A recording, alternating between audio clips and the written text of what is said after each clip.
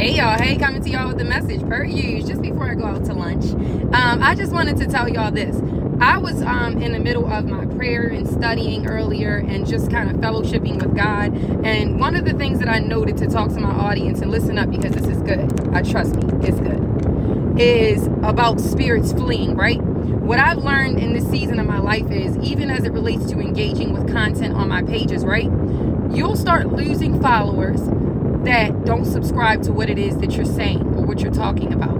And it's not in the literal sense of the things that you're saying being wrong per se.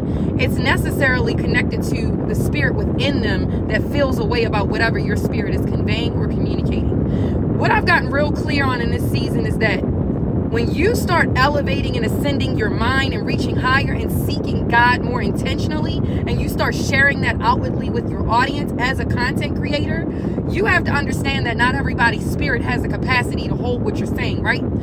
the thing that I've noticed about the people in this world is a lot of people that are lukewarm Christians or people that don't subscribe to God at all are typically people that want to hear beautiful lies. As long as they are hearing lies fluff and all the sugarcoating nonsense that people in the world say and spew out of their mouths, false prophets, all of these people. It doesn't even have to be connected to the church. It could just be a person that you see on a day-to-day basis. When people tell beautiful lies, the masses subscribe to that because it makes them feel good. And we live in a very feel-good culture, right? But when you start being a realist and you start speaking God's honest and bold truth and you start standing in honesty and what's real, people flee because the insecurity within them doesn't want to hear what you have to say. The worry, the fear, the doubt, the frustration that the enemy uses to torment them because it's a spirit within them. Remember, 20% of what we live is tangible, everything else, 80%, is spiritual.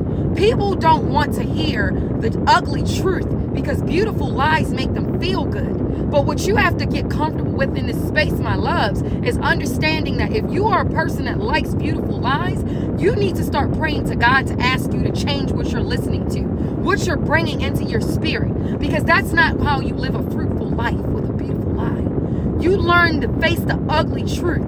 You learn to be able to be comfortable with negative feelings and emotions because it's normal. We are human. And you pray to God to help you navigate those feelings because the more and more that you trust and have faith that God will bring you on the other side of what you feel that doesn't feel beautiful and doesn't feel good, that's when God can start rupturing and pruning your spirit so that He can ascend you to be the better version of yourself, the more Christ like version of yourself. Once you start allowing Him to strip you away from what the world tells you is comfortable and moving into the uncomfortable, that's where peace is found, my loves. I'm not saying these things because they sound nice or because it sounds good. I'm saying these things because I actually went through what I'm telling you.